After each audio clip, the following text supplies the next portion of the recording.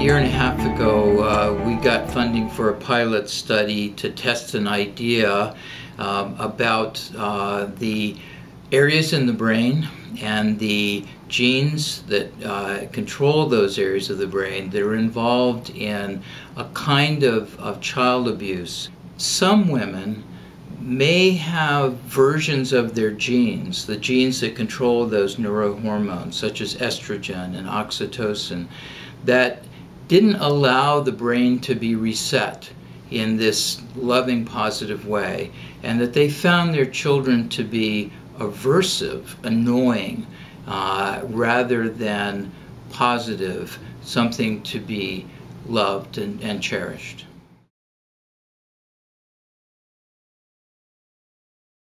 Foundations, uh, such as the Brain Research Foundation, step in and they, they fill an absolutely vital role.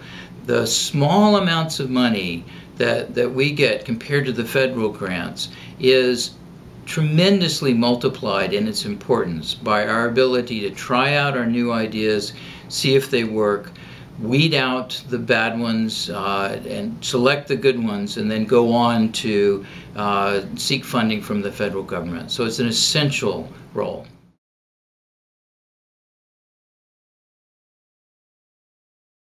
If we find out that uh, this is all correct, if everything is, is validated, it'll tell us a great deal about what's going on in the brains of women who are abusive.